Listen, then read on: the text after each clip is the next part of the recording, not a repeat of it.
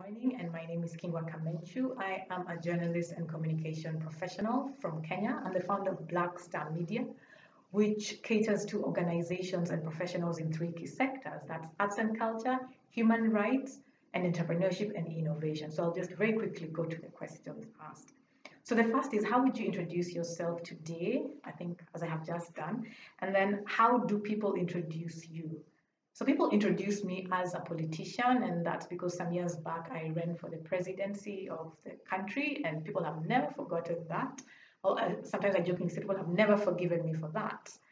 On a light note. Um, next question is how would you prefer to introduce yourself or be introduced in the future?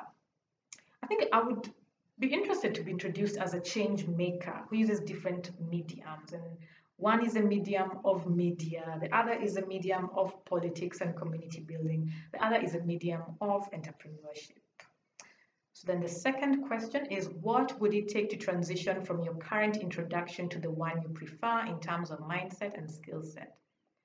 To a large extent, I think I'm already on the journey. Um, a lot of it is about training, confidence building, and um, I'm continually um, enrolling in courses in which I need support in a lot of entrepreneurship courses, a lot of um, media development courses. So yes, training would be a big thing. And then the third question is, how did you become a part of this program and has it impacted your proposed journey path?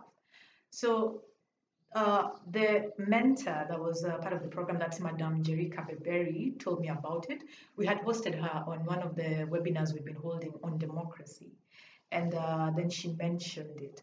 And, and and invited me to apply for it. So um it's impacted my my journey in the sense of it's given additional clarity because like i think you've, you've noticed that i have sort of different interests in terms of the media the politics entrepreneurship. So it's given me clarity. It gave me clarity in terms of how to juggle those how that to see better how they actually fit in together and they actually do not compete, that they are all, there's a fusion. So I really appreciated that clarity. And then what drives you to be who you are today?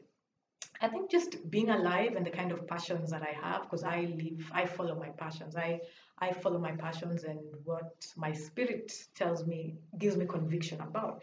But also my background, like my family, um, my parents were very community oriented and always about um, making the society better. So I think in a very big way that that give gave me like an unconscious drive to to you know to be this person that's trying to make the world a better place. And then where does your passion for journalism and media come from? Mm, I think in a big way it came it came from my my talents and my skills, what I was naturally excelling at versus what I was finding harder. And this is all the way from um, secondary school to university. So language and communication seemed to be the one thing that I was always called out to give support in, to help in. Um, and so it was almost like the logical progression of things. And then um, and then my other passion also because my other obsession is seeing wholeness. Like I want to see human wholeness. I want to see societal wholeness. I want to see potential being fulfilled. And then how would you describe the media environment you first worked in?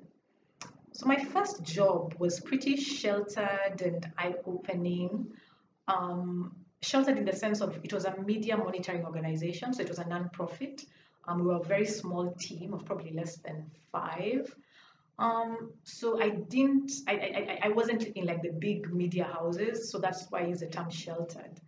Um, I opened it because I was working for an individual that was just very, very much about change, very, very idealistic, very change driven. Um, and he, he, I, I learned a lot from him about um, seeing the world in a particular way. So I think that that also really shaped me in a very big way. The, the, the just seeing the attempt, even just the attempt to be able to try to do something, because he was all about making the situation for journalists better, monitoring freedom of expression, rather the organization, not the individual, monitoring freedom of expression in the in, in the in the in the region in a very passionate way. His name is David Makali. Um, a lot of uh, journalists know him, very very highly respected journalist, um, and so that was um, quite eye-opening, um, sheltered, and idealistic. And then how would, how would you describe the current media environment you work in? Is it different from why when you started, and why do you say that? I think I would say that the changes are mostly in the fact that there's a lot more women. Um, I think, I mean, obviously nothing compared to the difference is not as vast as it was in the 70s or the 80s, but now I see like women all like it's it's such a normal thing.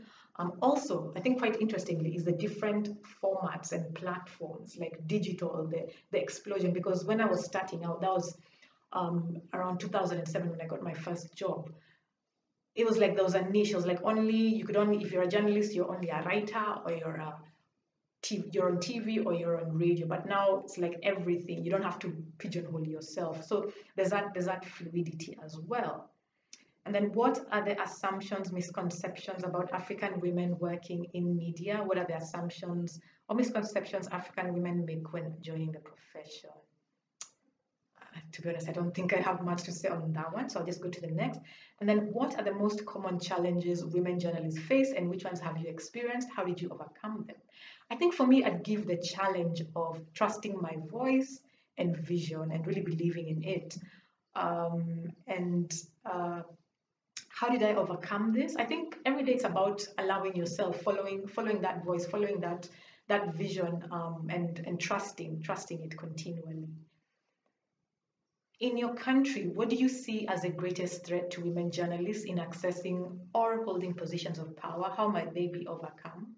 So my answer is probably not going to be very. Um, it's going to be a bit. I don't know if to use the word controversial, maybe, but I actually I would look at it that the challenge would be in themselves because when a person has conviction and, and self-belief and they are just on fire about what they're doing, they're unstoppable. Nothing can stop them, whether it is their gender, whether it is their race, whether it is their um, economic background. So it's all about actually I would actually say it's all about themselves. But then also I do understand that because we grow up hearing voices, hearing voices um, that really try to devalue us as women. So that is what then makes it a challenge. So for me, part of the solution moving forward is that we need to do something about the culture, about the culture and what it teaches women that they are and what they could be, um, for us to actually see our women in media and our women in all spheres attaining the power and getting to the to the positions and the spheres that they will be interested in. And then in a global context, how many women-led media platforms contribute towards the development of solutions-oriented narratives for Africa? So I'd say in Kenya, I know um, I know about African women African women and child feature services, um, and it does a lot in terms of the development narrative for Africa, giving solutions. Also, the Association of Media Women in Kenya, I know that they have occasional publications. I know about the Gender Media Network, uh, GEMNET. Um, uh, then uh, outside of Kenya, I know about I know about Fem FEMRITE in Uganda. I know about Femnet. I think it's the online organization. Um, and also in Egypt, there's a, there's a I came across uh, an editor called Fatima Farag. She runs Welad El Balad for Media Services, which does a lot in terms of community media. And then also myself, my, my organization, uh, Black Star Media, which is women women led, woman led, um, that it does contribute a lot towards the development solutions oriented narrative for the continent. And then the 12th question is what opportunities does having women in leadership present for you, the people you work or converse with, and your country at large?